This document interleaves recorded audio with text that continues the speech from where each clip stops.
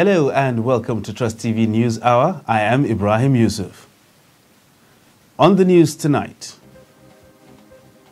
fire raises down 50 makeshift rooms in Port Harcourt community. NCDC faces probe over spendings of 9 billion naira COVID-19 response intervention funds. Spain-bound passenger arrested with 96 wraps of illicit drugs at Abuja airport. And on the foreign scene, several injured as military ram into protesters in Myanmar's Yangon city. Now the news in detail. Another fire has razed down a makeshift settlement at Rumukalagbo community in Port Harcourt City Council late Saturday evening, with over 50 rooms affected and properties worth millions destroyed. Correspondent who visited the scene of the fire incident now reports. The affected residents say the fire began from a stove suspected to be filled with adulterated kerosene called fire, where a boy is making indomie around 7 p.m. on Saturday evening. They lamented that the fire burned all their properties. One of the landlord of the affected tenant, Silva Lynn Calabo, and some other victims gave details about the incident. They said that one boy is cooking indomie while the sister is sick, lying on the ground, kicked the stove. The thing hit at the something of uh, carton. That's how the fire started. They called me. I should come that my bacha is catching fire. I say, how can? I say, let me not just go immediately because people are here. They have not already called me. It's outside people that are calling me.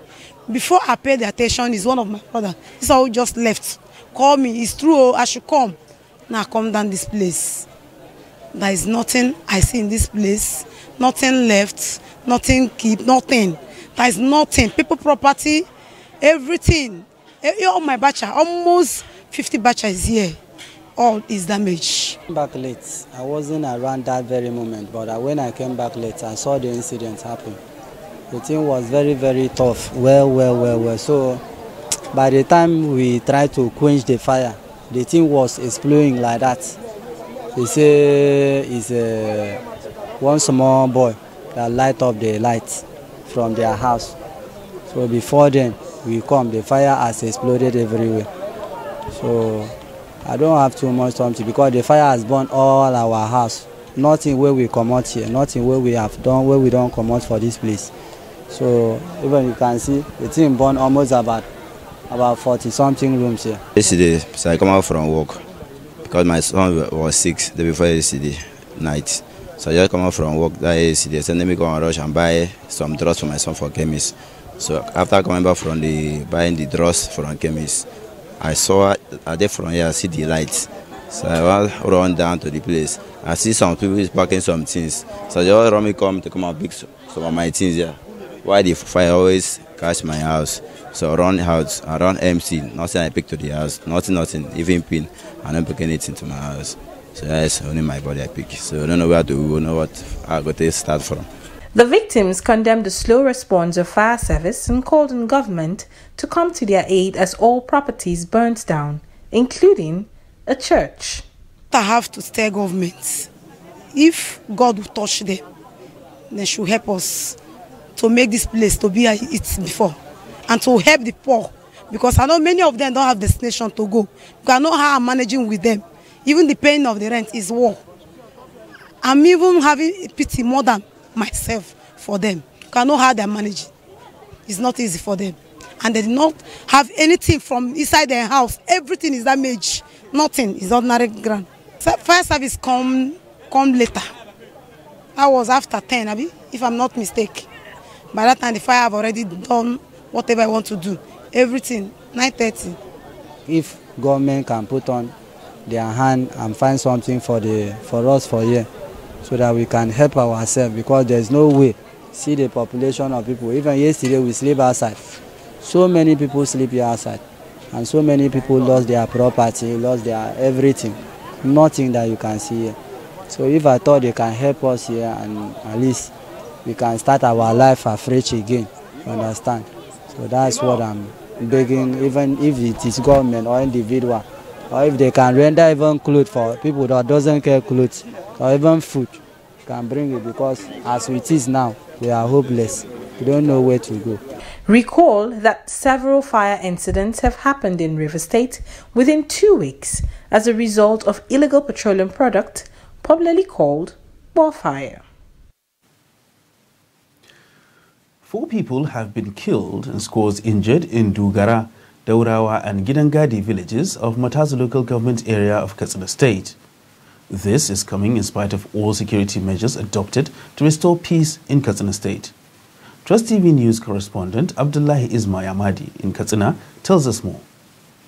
According to one Ibrahim Usman, a resident of Erikiriya village in Musa local government, just a stone throw from the affected villages, he told Trust Television that uh, the bandits came in large number and started shooting sporadically on the villages and of course they rustled several animals, wounded several people and uh, they forced so many people out of the villages. As at the time he was reporting the issue to Trust Television, he said several women and children have fled the villages to neighboring towns and cities across the state. When contacted for comment, Police Public Relations Officer of Katsina State Police Command, SP Gambo Isa, said they are yet to receive any information about the attack and uh, as soon as they get the information, they will make it public. However, uh, Trust Television gathered that uh, the villagers who fled the affected uh, areas are now taking refuge in Malumfashi, Musawa, and Matazu towns. From Katsina, Abdullahi Ismail reporting for Trust Television and about 60 kidnapped victims, including those abducted at Emmanuel Baptist Church, Kakaudaji, Chikun local government area of Kaduna State, have been reunited with their families. The victims were brought to Albaka Baptist Church when were accompanied by security agents. It was a moment of mixed feelings for relations who came to reunite with the victims. Kaduna State Commissioner for Internal Security and Home Affairs, Samuel Aruwan, said the rescued victims include those abducted along Kaduna Kachia Road and Emmanuel Baptist Church, Kakaudaji.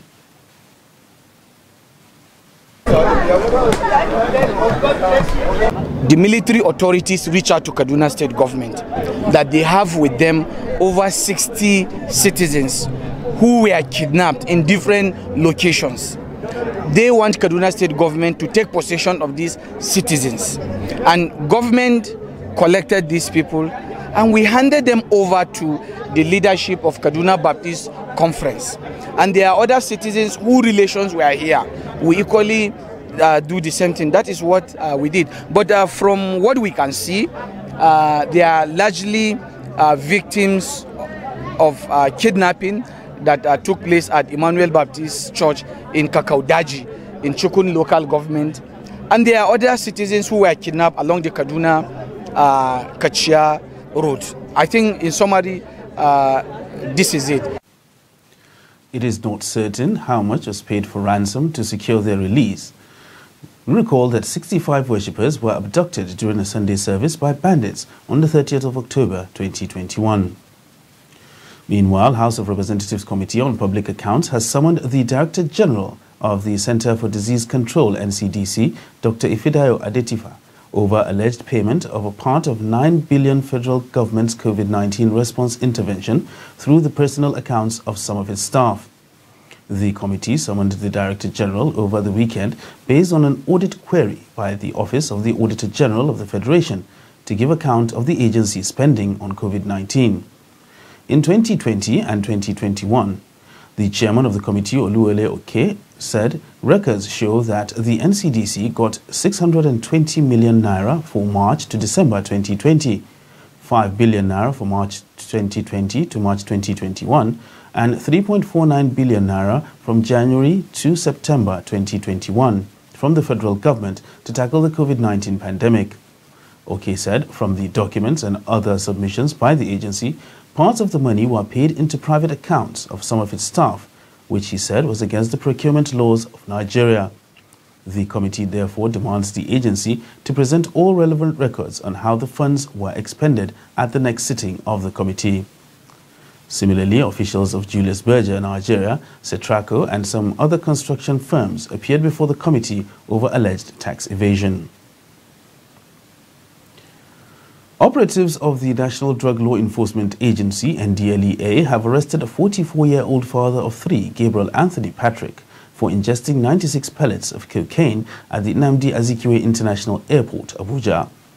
Spokesman of the agency, Femi Babafemi, said on Sunday in Abuja that Gabriel, a native of Nike in Enugu North local government area of Enugu State, was arrested on Friday, 26 November, during an outward clearance of Turkish airline at the boarding screening area of the airport en route Abuja, Istanbul, Madrid.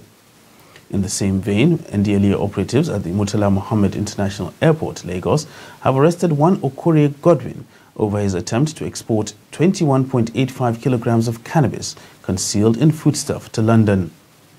Meanwhile, five students of the American University of Nigeria, AUN, Yola Adamawa State, and the University of Maiduguri, Borno State, are among suspects arrested for drug offenses in raids across nine states in the last week. Right now, we're being joined by the Director, Media and Publicity, National Drug Law Enforcement Agency, Femi Babafemi, on the arrests at entry and exit points around the country. You're welcome. Thank you for having me. All right. So we have had reports, and we've been getting reports of um, lots of arrests being made um, for, uh, of suspected traffickers. And when this happens, a lot of splash is created in the media. But um, we haven't yet heard of any prosecutions being made. So we want to follow up on what is your follow-up strategy after these arrests to ensure that your work is not undone? No, no, we, the, the, the, when we arrest, we complete the process of investigation, hand over the case file to our uh, Directorate of Legal Services, who charge suspects to court. There is none of our suspects, especially those um, involved in trafficking, that are not taken to court. And I believe periodically we do release statements on um, on the prosecution and in some cases um, the conviction. I want to assure you that we have about 90% conviction rate in all our cases.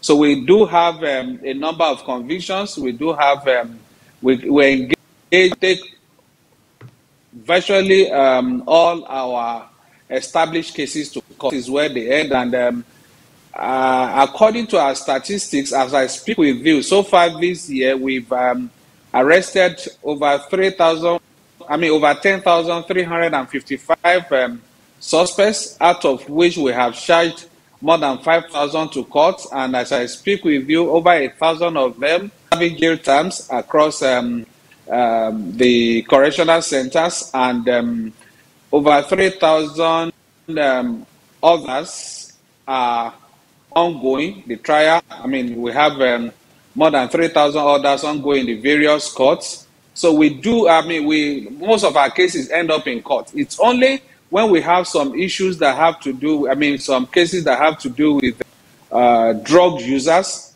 some of who are victims. So rather actually compounding their case by taking them, throwing them in jail, we do take them in for counseling and rehabilitation, just to have a, I mean, a fair balance between our drug demand um, reduction, drug supply reduction uh, efforts. All right. Well, within the same period. Okay. Those are quite impressive Within the there. same period, yeah. Okay, go on. Okay, within this same period, talking about our drug demand um, reduction efforts, within this, this same period, we've had um, about 5,579 um, persons cancelled and rehabilitated. I just needed to balance the figure for you to, so that you uh, they can be properly uh, put in context. All right, so those those are quite impressive numbers, as I alluded to earlier. So um, most of these arrests that we actually have are on the points of entry and exit for suspected traffickers. Um, what efforts are being made on local distribution? Because that is also a problem. If these uh, traffickers don't have a market, then they won't bring these drugs in.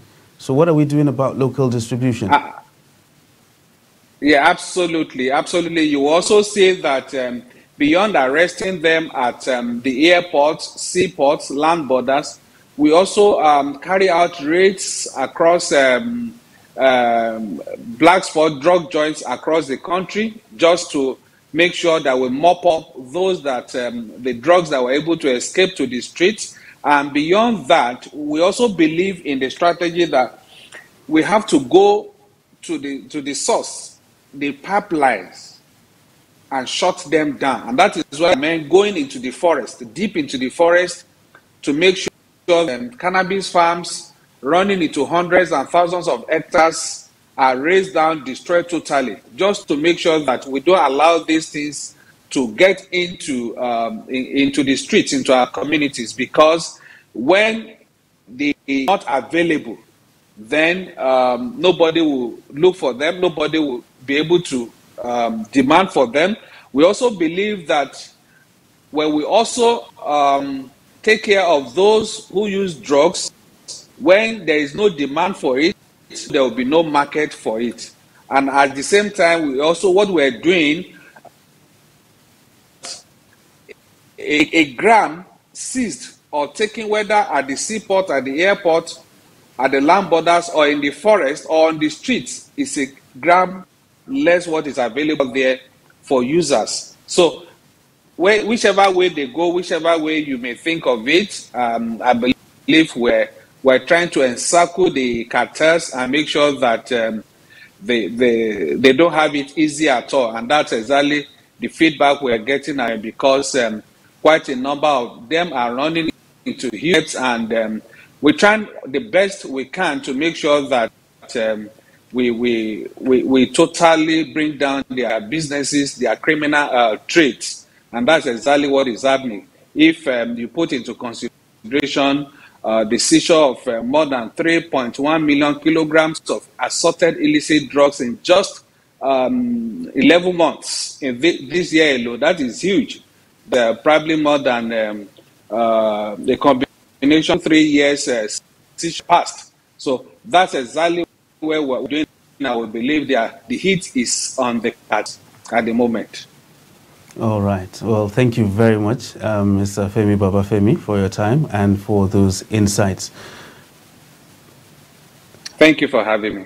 All right. Mr. Femi Babafemi is the Director, Media and Publicity, National Drug Law Enforcement Agency, and he just gave us an insight into the arrests and, of course, some moves being made on prosecution and, of course, distribution of illicit drugs in the country. You're still watching Trust TV News Hour. Coming up after the break, reminiscing the good old days. Do stay with us.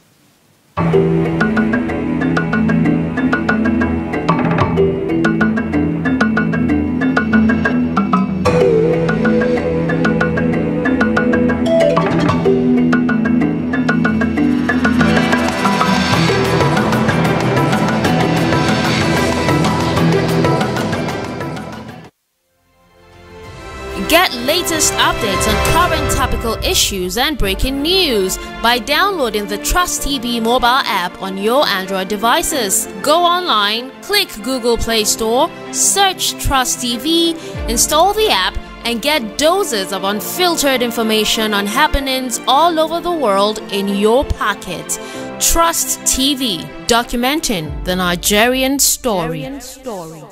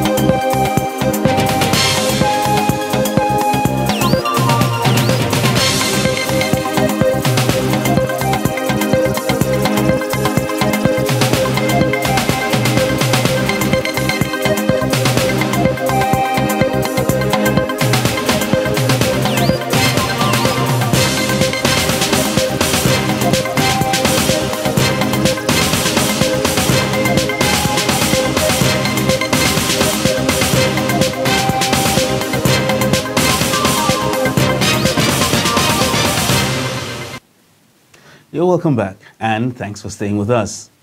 Now, a look at some of our top stories. 50 makeshift rooms and properties worth millions of naira destroyed in another fire outbreak in Port community. And House of Representatives Committee on Public Accounts has summoned the Director General of the NCDC over spendings of 9 billion naira COVID-19 response intervention fund. And moving on to other news, University of Abuja says it's investigating over 10 cases of sexual harassment which have been transferred to its disciplinary committee. Pro-Chancellor and Chairman Governing Council of University of Abuja, Modibo Muhammad, said this at the weekend during a retreat organized for the university's principal officers, deans, directors, and trade unions with the theme Navigating Myriad of Challenges in Managing Universities in Today's World. Speaking on sexual harassment in the university system over the cases of such had been transferred to the university disciplinary committee, adding that persons found guilty would be brought to book and will henceforth be sanctioned accordingly. Modibo said the institution has mounted 24-hour security surveillance within the campus and other sensitive positions to check kidnapping and other security challenges, adding that they have engaged the services of hunters and vigilantes to boost security following a recent incident of abduction of some staff and family members by bandits. The Department of State Services, DSS, has arrested Managing Director of Kano State Consumer Protection Council, KCPC, General Idris Bello Dambazau, retired, over allegations of economic sabotage. Dambazau is arrested for allegedly sealing off seven filling stations in the state capital, an act the secret police says is unilateral and unconstitutional. Daily Trust reports that Dambazau had sealed seven filling stations and the Constitution is against that act as he did not inform the Department for Petroleum Resources. He is being charged with the offense of the economic sabotage with the Constitution of the Federal Republic of Nigeria. He is billed to be charged to court on Monday. Governor Abdullahi Umar Ganduje appointed General Dambazau, retired, as the managing director of the council in September 2021. Meanwhile, workers in Kaduna are concerned over non-payment of salaries for more than half of the workforce in the state. The state chapter of the Trade Union Congress raised the alarm in Kaduna on Saturday.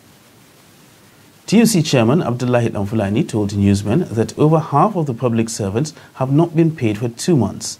At this time of economic hardship, this development is coming at a time when over 200 teachers are said to be disengaged from the service over certificate forgery. Not assess their salaries and wages for two months now. That is to say October and November 2021, to be precise. The problems and challenges that our team members are being faced with as a result of this, non-payment of salaries of over 20,000 workers of the state since the month of October. What transpired is why it was about 20,000 because that of October were there, some were omitted in November. And we are still working on them. That almost more than half of those people have uploaded their, their, their details at the government portal. And this very screening exercise that actually was that was embarked by the that is being embarked by the state government, it affected almost 10,000 of our members. So out of the 20,000 that we are even talking about, about half is from the secondary schools. So most of our members have not been paid. An unidentified woman is currently receiving medical attention at the Mararaba Medical Center for about three months after being unconscious and could not speak nor identify herself.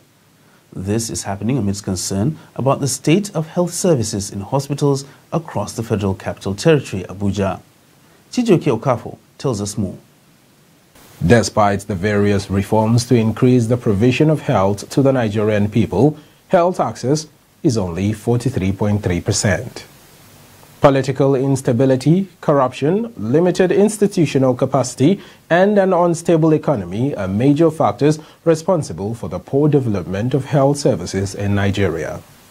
We visited the Mararaba Medical Center to have a better understanding of what healthcare services look like in the hospital, but we were denied free access to film anything or have interviews with anyone. However, from what our eyes and hidden cameras could catch, most of the patients there were women and children, and since we couldn't speak to any of them, it is still unclear whether healthcare services are up to standard here. After much persuasion, we were allowed access into the female ward, a somewhat darkly lit room with patients lined up across both sides of the wall. This woman has been in this hospital for three months. Health staff at the facility say she was brought in unconscious and has since been unable to speak or identify herself. Um, the person you are seeing here, we too, we don't know her name. She was brought unconscious from uh, somewhere, primary hair care, and then we started treating her. And God help us, she's recovering. More than two months now. You know, I told you she was unconscious. She became conscious now. And up to now, she cannot talk well. We ask her questions. She cannot tell us where, what is her name, where she comes from. The head nurse at the medical center says since the woman was brought in, they have been the ones taking care of her medical issues and feeding her. This also takes us back to several unreported cases of unidentified missing people. This is just one out of many similar cases, and often it ends tragically. Uh, people have been helping, and you know, it's not all that they can do. We will need, well, sometimes we will need uh, uh, something for her. They may not be around, so we now place her on under indigence. The hospital authority have been taking care, I mean, uh, providing some things to take care of her. The Nigerian healthcare system is poorly developed. No adequate and functional surveillance systems are developed to achieve success in healthcare in this modern era. A system well grounded in routine surveillance and medical intelligence as the backbone of the health sector is necessary, besides adequate management coupled with strong leadership principles. Chijoke Okafo, Trust TV News, Abuja. Chairman of the Nigerian Governors Forum and Governor of Ekiti State, Kayode Fayemi, says to achieve stable democratic governance and national integration, the exemplary leadership style of late Malam Aminu Kano, who laid a solid foundation for good governance and national cohesion during his lifetime, should be emulated. He said this at the 21st anniversary of Mambayya House held in Kano State. Trust TV's correspondent Idris Jibril now reports. It is the 21st anniversary of Aminu Kano Center for Democratic Studies, Mambayya House, and these politicians, educationists, religious and community leaders are all here to pay tribute to the late Kano's politician. The aim of the program focuses on democracy, good governance, and the question of national integration, which is said to be the main areas of late Aminu Kano's concern during his lifetime. According to Governor Fayemi, Malam Aminu Kano has over his lifetime maintained a policy of good governance and national integration despite the Nigeria's political division. We can borrow a leaf from the late Malam Aminu Kano and resolve that as part and parcel of the bargain of being a citizen of Nigeria, we will strive to design universal social policies that will enable the generality of our people to renew their faith in the country and their government. Universal access to education should be accompanied by a system of universal health care. It should be underpinned with a national strategy that defines employment creation as a priority concern of public policy. Enhanced efforts at boosting domestic resource mobilization will need to be accompanied by deliberate measures at redistribution designed to reduce wealth, income, gender, and intergenerational inequalities. In order to ensure good governance and national integration, there is the need for a collaborative effort to not only emulate but also put into action the teachings and guidance of Malam Aminu Kano through ensuring prosperity by keeping tribes and religious differences aside. As a country, we have continued to invest in improving our democratic, democratic process and systems to ensure the votes of our citizens truly count. So sometimes we Nigerians do not give ourselves enough credit for the successes we have achieved from 1999 to date. As I look around this room, I'm very happy to see people from different political parties and different part of the country What makes me prouder is despite our political, tribal, and religious differences, we are all friends. We are all brothers, and we are all strong believers in settling our differences through ballot, not violence. To continue sustaining Mambayya House in Kano is to continue paying tribute to the very many achievements of Malam Aminu Kano, not only in areas of democracy and good governance, but in all aspects of human life. Idris Jibrin, Trust TV News, Kano. You're watching Trust TV News Hour. The news continues after this short break.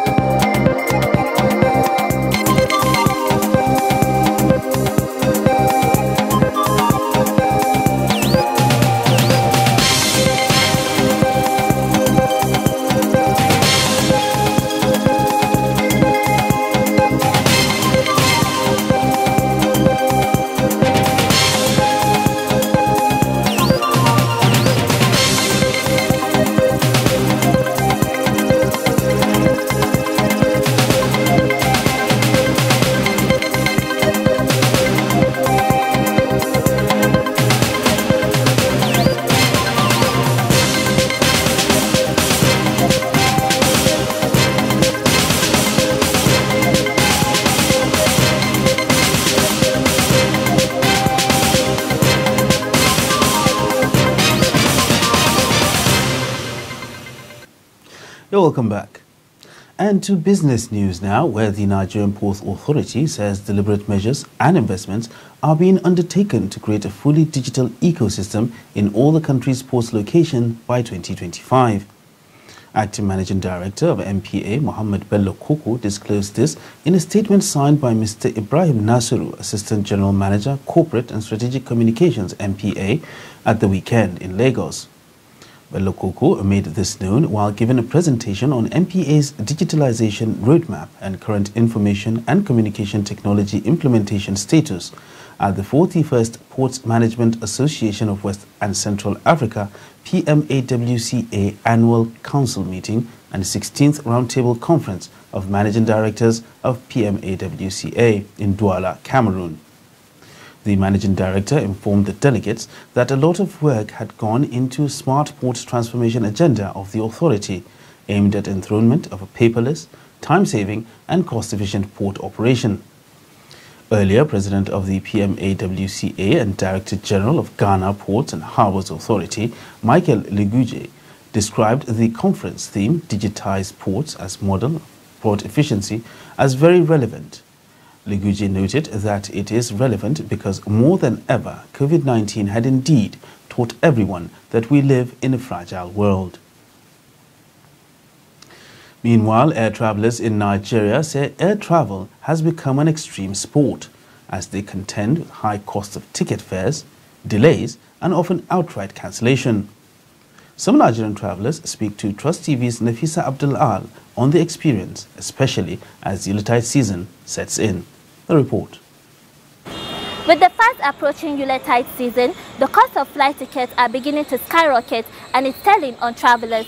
We are now here at the Nnamdi Azikiwe International Airport to speak with some of these passengers on this development. Uh, we have had a lot of uh, high traffic uh, for about two weeks now. Uh, this should be the consequence of the insecurity along the, the road.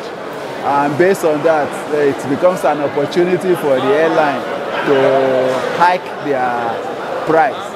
Though we have a lot of other new aircraft that are just coming. Ordinarily, when new aircraft come, price tends to go down because of competition. But now, whether you are coming, even if you come with Molue, now the price is as high as 100,000, 90,000. My experience was horrible. Coming from Lagos to Abuja, I paid 29,700. Now I'm going back to Abuja from Abuja to Lagos. I don't know why I should pay 49,000 that's exploitation. I don't know. The reason I don't know, you know, and upon that, it got to be delayed. And sometimes the flight gets cancelled. Today is a very, very bad day for me because um, on getting here, I missed my flight 30 minutes before the flight time. It's actually supposed to be for 45 minutes, but it was actually man-made because at the airport toll gate, to get into to, to the toll gate, we spent about 45 minutes there. So on getting here, nobody considered us. We were more than 25 people who missed their flight on Ibom Airways today. And that's very wrong. I think, um, for example, if you want us to, if you have reasons to delay your flights, you give us your reasons, probably weather condition and all that. But hereby, I wasn't going to miss my flight if not for the toll gates, what happened at the toll gates. So somehow it's not a coincidence that more than 25 people missed their flight in a particular flight today. Well, it's a great experience to me. I'm surprised uh, even for me to get ticket. I've been hanging here for more than two hours and I'm surprised the ticket the price is higher and uh, of course it's a big challenge to me. I've been hanging here in airport for more than five hours waiting uh, if there will be a chance for me. And of course I'm surprised I expect that uh, this country is supposed to also look at what is going on now. Many uh, customers, I think, uh, is hanging here. Increments in the cost of flight tickets, delayed flights, miscommunication between some of these airlines and their passengers are some of the concerns these travelers face on a daily, but more so now in this Yuletide season. They urge the government to enforce some sort of regulation in order to curb this menace. Efforts to get comments of airline operators were, however, not successful. Nafisa Abdul Al, Trust TV News, Abuja. Former Director General of the Abuja Chamber of Commerce and Industry, Chijioke Ikechukwu, says the free fall of the Naira should not be blamed on poor monetary policy of the Central Bank of Nigeria alone. He said that other institutions of government are partially responsible for the apparent collapse of Naira and high inflation rate in the country. We have put all the blame about exchange rate on central bank. The truth is that central bank should not even take up to 20% of that blame. Mm. The entire blame should be on many other areas of the country. Mm. One of the areas is the same insecurity in the country we're talking about. Another area is the physical side of our economy, which is the, the, the, the way managed by another ministry, mm. Ministry of Finance. Um, eh, what CBN is trying to do is just to be able to um, try to, it's just to be able to manage the kind of um, revenue base we have and the kind of inflows of foreign exchange we have and use it to make decisions of monetary policy. Otherwise, CBN should not take up to 20% of the blame mm. of why our um, exchange rate is this way. Mm. Yeah, because there are many other factors responsible for where we are today. One factor is the fact that our revenue base is almost uh, low, very, very low. Um, uh, we remain having our revenue base with uh, oil, um, when we can actually generate a lot of revenue from other sectors. Now, um, one thing everybody should ponder, um, or everybody should ponder about is the fact that oil is contributing um, up to 90% of our revenue base. Um, yet, it's not contributing up to 50% of our GDP. Other sectors are contributing up to 50, up to 80% of our GDP. Yet, those other sectors that are contributing 80% of our GDP are not contributing to our revenue base. So it's a thing to worry and a thing to start asking questions. If oil that is contributing 10% or more, slightly above 10% of our revenue base is contributing far less to GDP, and others are contributing more to GDP but less to revenue, there is something going wrong that we need to correct. If we can correct that, our revenue base will increase. Nigeria and President Muhammadu Buhari has taken over the presidency of the Agency for the Great Green Wall, PAGGW, in Africa for the next two years. This is made known to newsmen by the Minister of State for Environment, Chief Sharon Ikeazor, at the end of the fourth ordinary session of the Conference of Heads of State and Government of the Pan-African Agency for the Great Green Wall in Abuja. Ikeazor expressed optimism that the unparalleled commitment of President Buhari on addressing issues of climate change and desertification, coupled with the immense respect he commands within the international community, a lot will be achieved during his tenure.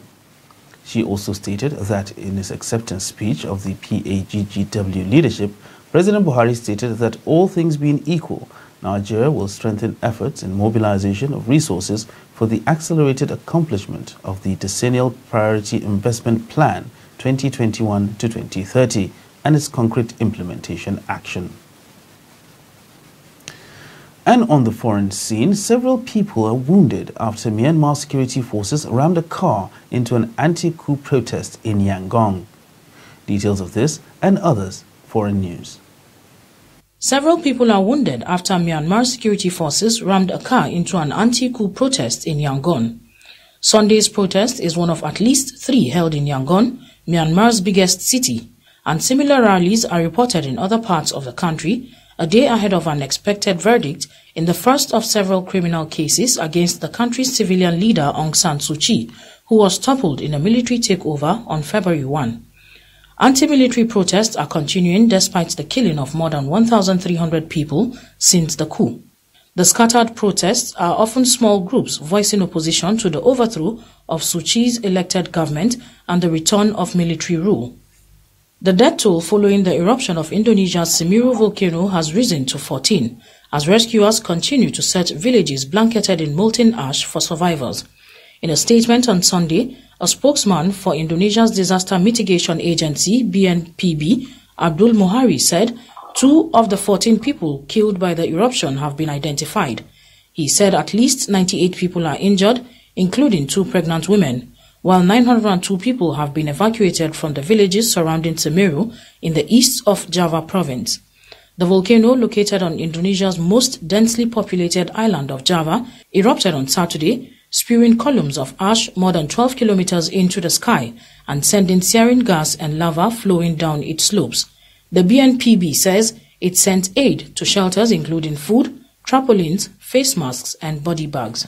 Iran says a loud explosion that was heard near its nuclear facilities in Natanz, which have previously been targeted by sabotage attacks, is part of a controlled test. The test is part of drills that are regularly carried out under supervision from local air defense authorities. No damages were said to be incurred to the local area as part of the test. The incident comes as Israel has repeatedly threatened Iran with military action, pledging not to allow Iran to obtain nuclear weapons. Iran has blamed Israel for two attacks on Natanz facility. Top Israeli officials renewed their threats against Iran last week when Iran and the world powers, party to its 2015 nuclear deal, reconvened in Vienna in an effort to restore the accord that the United States unilaterally abandoned in 2018. Sudan's military chief, General Abdel Fattah al-Burhan, says the army will leave politics after elections that are scheduled for 2023. Al-Burhan offered the assurance during the weekend. The general had led a military takeover in late October, leading to Sudan's transition to civilian-led democracy. But a deal struck on November 21 has reinstated Prime Minister Abdullah Hamdok to lead a technocratic cabinet until elections in July 2023.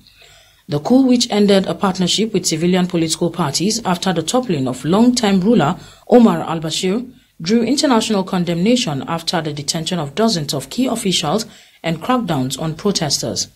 Neighborhood resistance committees and political parties have called on military to exit politics immediately and have rejected any compromise, including the deal with Hamdok. And finally, the United States, the European Union, and 20 other countries have condemned the Taliban over allegations of summary killings of former police and intelligence officers in Afghanistan.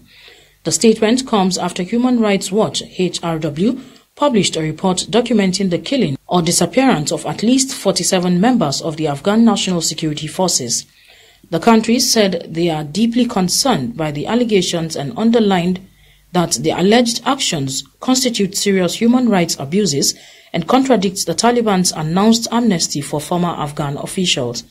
They called on the Taliban to effectively enforce the amnesty for former members of the Afghan security forces and former government officials to ensure that it is upheld across the country. And in sports news, Ralf Rangnick's reign at Manchester United got off to a winning start thanks to a stunning strike from much-aligned striker Fred, who beat Crystal Palace 1-0 at Old Trafford on Sunday. A bright start from the Red Devils fizzled out without a reward, and the German looked like he might have to settle for a disappointing draw in his first match since taking charge until the end of the season.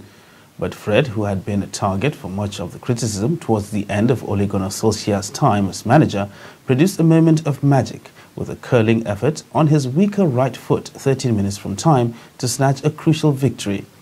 United moved back to within three points of the top four and up the sixth on the Premier League table. There, are no immediate, there were no immediate changes from Rangnick in the lineup as he named an unchanged side from Thursday's 3-2 win over Arsenal. Niger State Governor Abubakar Sani Bello has sympathized with the people of Wushishi local government, Kontagora Emirate, and the entire Nigerites over the death of elder statesman General Muhammad Inuwa Wushishi retired. Governor Sani Bello, in a condolence message signed by Chief Press Secretary Mary Noel, describes the general as a gentleman, father, soldier, and an administrator of high ethics and impeccable morality. The governor maintained that even after active service, late General Wushishi had continued to offer useful counsel that helped in the development of the society, adding that his demise creates a vacuum that can only be filled by Allah. Governor Bello prayed to Allah to forgive the shortcomings of the deceased and grant him Al-Jannah Firdaus, as well as give the entire people of the state and close associates the fortitude to bear the great loss. Similarly, the Registrar National Examination Council, Professor Dantani Wushishi, had described the death of General Muhammad Inuwa Wushishi as a great loss to the people of Wushishi and the Niger State in general. Professor Wushishi, in a statement by Aziz Sani, Head of Information and Public Relations Division, described the late elder statesman as a quintessential leader whose footprints will remain indelible in the sand of time. And before we end the news, here is a quick kicker. 18-year-old artificial intelligence whiz Mercy Sampson's robotic prototypes has wowed Nigeria. Now she wants Africa to focus on artificial intelligence and the opportunities provided by the fourth industrial revolution. Meanwhile, she also has a personal point to prove. She is a deaf person living in a country where that is a problem. Let's take a look.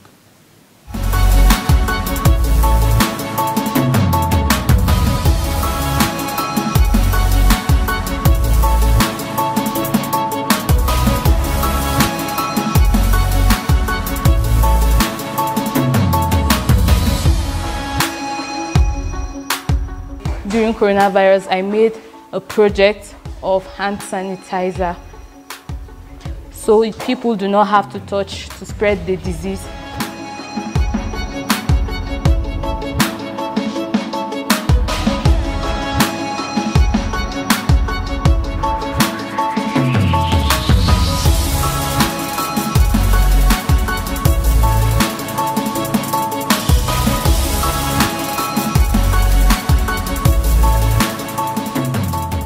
She is a critical thinker.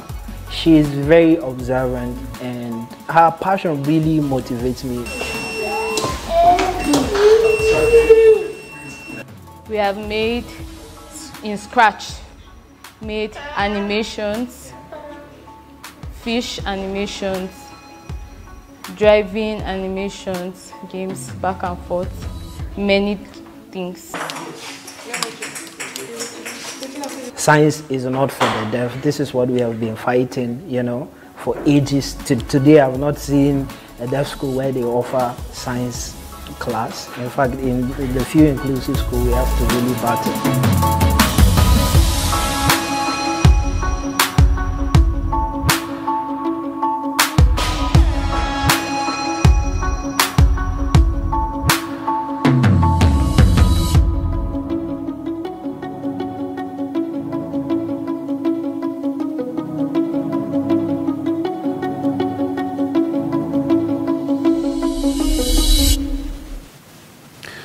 And with that, we wrap up Trust TV News Hour for tonight. Don't forget to subscribe and follow us across all our social media platforms. I am Ibrahim Yusuf. Thanks for watching.